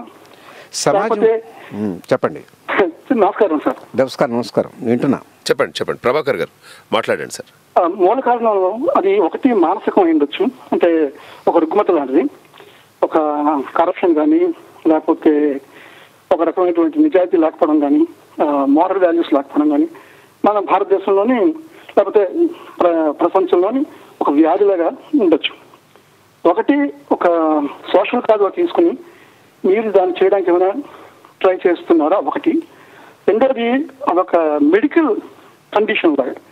ఒక ఎంఏఓఏ జీన్ అనుకునో లేకపోతే ఒక రకమైనటువంటి జీన్ వల్ల ఇలాగ మనుషుల్లోని ఒక ల్యాక్ ఆఫ్ కంపాషనో లేకపోతే అగ్రెషనో సెల్ఫిష్నెస్ ఉంటే దాన్ని ట్రీట్ చేసేటువంటి ఒక ఒక వైరస్కి ఎలాగైతే మీరు ఒక టీకా లాంటి చేస్తే ఒక వ్యాక్సిన్ లాంటి చేస్తే తగ్గుతుందేమో. మీరు అడిగినటువంటి ఈ మానసిక స్థితికి మనం కొత్తగా ఏవి వ్యాక్సిన్ కనిపెట్టక్కర్లేదు మాస్టారు. మనకు ఆధ్యాత్మికత అనేది ఒకటి ఉంది. ఈ జాతికి భారతీయ జాతికి ఒక గొప్ప వరం ఏమిటంటే ఆధ్యాత్మికత. ఆధ్యాత్మికత అంటే కేవలం ఉంకు మూసుకొని ఆ స్తోత్రం చదవడమో లేకపోతే జపం చేసుకోవడమో జపమాల తిప్పుకోవడమో కాదండి. ఆధ్యాత్మికత అంటే ఒక ధర్మాన్ని పాటించడం మనకు సనాతన ధర్మం ఉంది. ఆ ధర్మంలో క్షమ దయ కరుణ సౌశీల్యం సౌజన్యం క్యారెక్టర్ ఇవన్నీ ఉన్నాయి. ఇవన్నీ గన మనం ఆధ్యాత్మికత పాటిస్తే మనం మనం వేద వేద వేదవాంగ్మయం చదవలేకపోయినా కనీసం వాటి ట్రాన్స్లేషన్స్ వాటి భాషణాలు వాటికి వచ్చినటువంటి వివరణలో చదవగలిగితే మన ఇతిహాసాలు కనీసం చిన్న చిన్న పుస్తకాల్లో మన రామాయణం భారతం భాగవతం ఈ భగవద్గీత ఇట్లాంటిగా మనం వంట పట్టించుకుంటే నీతి శతకాలు ఉన్నాయి మనకు. సుమతి శతకం ఉంది వేమ శతకం ఉంది. ఇవన్నీ మన విద్యలో భాగాలు. ఇవన్నీ కానీ చూసుకుంటే డెఫినెట్గా మనిషి ప్రవృత్తిలో గణనీయమైన మార్పు వస్తుంది. ఇవాళ అవన్నీ లేవు. ఇవాళ స్టూడెంట్ క్లాస్ స్కూల్కి వెళ్తే కేవలం వాడికి మ్యాథ్స్ ఫిజిక్స్ కెమిస్ట్రీ లేదా బయాలజీ ఇంకోటి ఇంకో సమ్ సబ్జెక్టు ఇవి తప్పితే వ్యక్తిత్వ నిర్మాణానికి పనికొచ్చే వ్యక్తిత్వ వికాసానికి పనికొచ్చే సబ్జెక్ట్ ఏదీ లేదు. అవన్నీ కానీ కోల్పోయినప్పుడు సంపూర్ణ వ్యక్తిగా ఎదగడు. వాడు ఒక మార్కులు సంపాదించే తద్వారా డబ్బులు సంపాదించే రోబోగా తయారవుతాడే కానీ సంపూర్ణ మానవుడిగా ఎదగట్లేదు. కాబట్టి ఈ కార్ కక్షలు కార్పణ్యాలు ద్వేషాలు ఈ టెర్రరిజం అంతా రావడానికి కారణం ఏంటంటే మనం మన స్వధర్మా నుంచి దూరంగా జరిగాం. ఆ ధర్మాన్ని మళ్ళీ తిరిగి మనం పాటిస్తే ఇలాంటి గొడవలే ఉండవు. అదే దానికి ముందు. ఇంకొక ముందు ఏంటంటే చతుషష్టి కళలు ఉన్నాయి మనకు అరవై నాలుగు కళలు. దాంట్లో సాహిత్యం ఉంది సంగీతం కూడా ఉంది నాటకం ఉంది. అవన్నీ కూడా పోవట్లేదు. మనం బాగా ఉద్రేకం కలిగించేటటువంటి విపరీతంగా నరుక్కుని ఎర్ర రక్తం కరిగేటువంటి సినిమాలు తీస్తుంటే అట్లాంటి వాటికి వెళ్ళి చూసి మనం కొంచెం ఉద్రేకం పడుతున్నాం కానీ సా సాధారణమైనటువంటి హాయిగా ఉండేటువంటి ఫ్యామిలీ సెంటిమెంట్ ఉన్నటువంటి శంకరాభరణం లాంటి సినిమాలు చూడడం మానేశాం. ఇవే కారణాలు. సమాజంలో ఇలాంటి వైచిత్రం ఎందుకు వచ్చిందంటే మనో వైకల్ వైకలభ్యం అంటారు దాన్ని. ఎందుకు వచ్చిందంటే మనం మన ధర్మానికి దూరంగా జరిగిపోయాం. కొత్త కొత్త విచిత్రాలన్నీ వాటికి అలవాటు పడ్డాం. మనం సాత్విక ఆహారం తీసుకోవడం మానేసాం ఫాస్ట్ ఫుడ్ తినడం మొదలెట్టాం. ఉదయం ఎక్కువగా నిద్రలేయడం మానేసాం ఆ ఆ కాలం చాలా మంచి కాలం బ్రహ్మముహూర్తం. అందరూ రాత్రి ఒంటి గంట దాకా రెండు గంట దాకా యూట్యూబ్లు చూడడం మన్నాడు ఉదయం పది గంటకు పది గంటకు లేయడం. మన జీవన శైలిలో మార్పు వస్తే మానవ ప్రవృత్తిలో మార్పు వస్తుందండి. మీరు కోరుకున్నటువంటి కొత్త వ్యాక్సిన్లు ఇవ్వక్కలేదు ఆ మంచి మంచి సమాజం రావడానికి మన విద్యా విధానంలో మార్పు రావాలి. మన తల్లిదండ్రులు తల్లిదండ్రులుగా బిహేవ్ చేయాలి. వాళ్ళు ఎలా తయారంటే ఇవాళ నువ్వు కానీ ఈ దీంట్లో ఫస్ట్ ర్యాంక్ తెచ్చుకోకపోతే నీ మొహం నాకు చూపించకు అనేటట్టు స్థితి పోయి ప్రేమతో ఆదరంతో మార్కులే కాదు వాడు సంపూర్ణ వ్యక్తిగా ఎదుగుతున్నాడు అన్నటువంటి భావనతో తల్లిదండ్రులుగా నా బిడ్డలను చేరదీస్తే సమాజంలో మంచి పిల్లలు వస్తారు. మంచి సం- మంచి పౌరులు తయారవుతారు. దేశం బాగుంటుంది. రైట్ అండ్ థ్యాంక్ యూ కానీ మీ మీ మాటల్లో మాకు చాలా వ్యక్తిత్వ వికాసం కనబడుతుంది సార్. మీరు ఒక మాట అన్నారు సంపూర్ణ మానవుడు అని చెప్పేసి. ఉండాలి. మనం ఏ విధంగా అర్థం చేసుకోవచ్చు సార్ సంపూర్ణ మానవుడు అంటే? చెప్తా నూట ఇరవై మంది జనాభా నూట ఇరవై కోట్ల జనాభా అంటారు. నా లెక్కలో నూట ఇరవై కోట్ల ఓటర్లు ఉన్నారు. అంతే. అసలు సంపూర్ణ మానవుడు అనే దానికి అర్థం పోయింది ఇవాళ. ఎందుకంటే వాడి వాడి ఏనాడు సుమశతకం అది ఎక్కడ ఎవరు రాశారు నాకు తెలియదే అంటాడు ఇవాళ. సరే. పెద్ద బాల శిక్ష తెలియదు. నీతి శతకాలు ఏవి తెలియదు. సరే. కేవలం మా- ఆ- సబ్జెక్ట్స్లో నైంటీ నైన్ పాయింట్ టూ వస్తే రామయ్య గారి దగ్గరికి వెళ్ళి ఎంట్రన్స్ ఐఐటికి. వచ్చేస్తే ఐఐటీలో సీట్ వస్తే అమెరికా వెళ్ళిపోతే అయిపోయింది ఇకనేమీ లేదు అతనికి మిగతా సమాజం గురించి తల్లిదండ్రులు ఆచార్య దేవోభవ మాతృదేవోభవ పితృ ఇవన్నీ తెలియవు అవన్నీ తెలుసున్నాడే పక్కవాడిని మనం సాటి మానవుడిగా మనం గౌరవించాలి అన్న ఆ భావం కలిగినప్పుడే ఆ సమాజం బాగుంటుంది. లేకపోతే ఏంటి కేవలం అతను తెలిసింది ఏంటంటే ఇక్కడి నుంచి వెళ్ళిపోవాలి. తల్లిదండ్రులు కూడా అదే చెప్పారు. కాబట్టి వాళ్ళు వీళ్ళ మొహం కూడా చూడరు. చివరికి వాళ్ళంతా ఉద్దాసమానికి వెళ్ళిపోవాల్సిందే. రేపు నేను తిరుపతికి వెళ్ళేది ఉద్దాసం చూడడానికే. అలాంటి పరిస్థితి. సార్ సార్ నిజంగా మీరు అంటే నేను నేను ఎప్పుడు కూడా ఒక విషయం వినలే ఫస్ట్ టైం నేను మీ- దగ్గర ఒక విషయం విన్నాను నేను. పుట్టినరోజు అప్పుడు మనం పుట్టినరోజు చేసుకోకూడదండి. అమ్మ కోసం చేయాలి అని చెప్పేసి మీరు అన్నారు. జన్మనిచ్చిన దినం. సార్ సార్ జన్మదినం కాదు. జన్మదినం కాదు జన్మనిచ్చినటువంటి దినం. ఎంత అద్భుతంగా చెప్పారు సార్ నిజంగా. సార్ నిజంగా అంటే మీ అమ్మగారి పేరే మీరు శాంత బయోటిక్స్గా పెట్టడం అనేది. సార్ ఒక చివరగా మనం ఏం పని చేస్తే మన తల్లిదండ్రులు చాలా హ్యాపీగా "ఆ, నా కొడుకు హండ్రెడ్ బై హండ్రెడ్ పర్సెంట్ అలా అనిపించుకోవాలంటే మనం ఏ ఏం చేయాల్సి తల్లిదండ్రులకు మనం ఏం చేయాల్సి ఉంటుంది సార్? వాళ్ళ రుణం మనం తీసుకునేది కాదండి. ముఖ్యంగా తల్లి రుణం మనం? ఎప్పుడు తీర్చుకోలేం తల్లి రుణం తీర్చుకోవాలంటే తల్లికి మనం తల్లిగా పుట్టాలి. అదొక్కటే మార్గం. ఇంక ఏ రకంగా తీర్చుకోలేరు మీరు. అసలు అది భూమి కేవలం మిమ్మల్ని మీ ఆయు ప్రమాణం ప్రకారమే మోస్తుంది. అంతకన్నా ఎక్కువ మోసింది ఎవరండి? ఎక్స్ట్రా నైన్ మంత్స్ ఆమె కదా? అవును సార్. భూమాత కన్నా తల్లే కదా. Extra nine months? You're right you're so తల్లిదండ్రులు ఎప్పుడు తృప్తిపడతారంటారండి? మీ ఆర్థిక విజయం కావాలి వాళ్ళకి. Hmm. మీరు ఎవరి మీద యాచించి బతకాల్సిన పరిస్థితి ఉండకూడదు. మీ ఆరోగ్యంగా ఉండాలి. మీ మనసు బాగుండాలి మీ దేహం బాగుండాలి. ఇవి రెండు బాగుండాలంటే మీరు చేయాల్సిన పనులు చాలా ఉన్నాయి. ఒక ఒక నిబద్ధతైన జీవితం కావాలి. ఒక ఒక పద్ధతిలో పెరగాలి మీరు. సమాజంలో యాక్సెప్ట్ చేయబడగాలి. ఓకే. ఇతను బా కీచుకుడ్రా వీడు వీడు కంటకుడ్రా వీడు అనేటువంటి నిందలు వాళ్ళు వినలేరు తల్లిదండ్రులు పట్టుకోలేరు నా బిడ్డ పది మందిలో యాక్సెప్టెడ్. నా బిడ్డ ఇవాళ పది మంది మెచ్చుకునే బిడ్డ అనేటువంటి ఆ గర్వం ఫీల్ కావాలంటే దానికి తగ్గట్టుగా నువ్వు నీ జీవితాన్ని మలుచుకోవాలి. మలుచుకోవాలి. మలుచుకోవాలి. పది మందికి యాక్సెప్టబుల్ అయితే తల్లిదండ్రులకి అంతకన్నా ఆనందం ఏముంది? కరెక్ట్ అండి.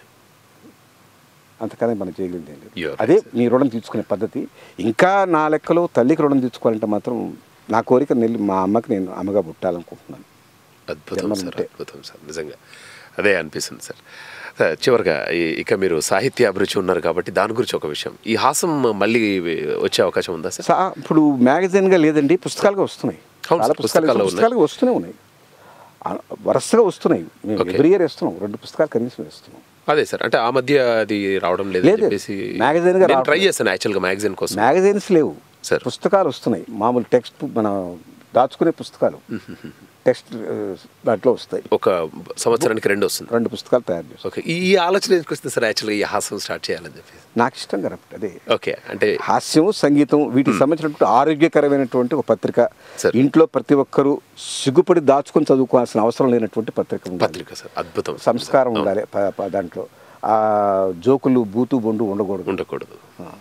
మంచి మంచి పాట గురించి ఆ పాటకు మూలం దాంట్లో సాహిత్య విలువలు దానికి అమర్చిన సంగీతం ఆ సంగీత దర్శకుడు పడ్డ అవస్థ అవన్నీ కూడా రాయించాం. సార్. అది. అదే నేను ఒక రెండు మూడు బుక్స్ కలెక్ట్ చేశాను సార్ నాకు. నా దగ్గర మొత్తం అన్నీ ఉన్నాయి కావాలంటే. Thank you sir but I'm so happy sir ఈరోజు యాక్చువల్గా ఈ దీని గురించి ఏదో మాట్లాడాలని చెప్పాను బట్ కరెక్ట్గా మేము ఏం నేర్చుకోవాలని అది మాట్లాడారు సార్ ధన్యవాదాలు sir thank you. So much for నమస్కారం.